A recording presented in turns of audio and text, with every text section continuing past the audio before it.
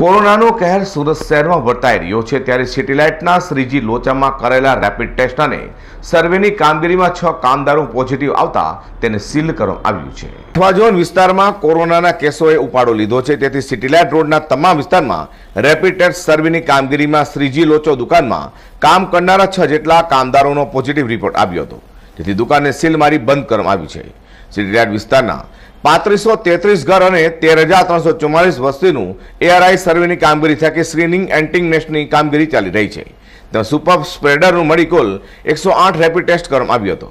જેમાં શ્રીજી લોચામાં કામ કરનારા છ કારીગરોનો ટેસ્ટ પોઝિટિવ આવ્યો હતો. જેથી સાવચેતીના ભાગરૂપે દુકાન બંધ કરી દેવાય છે.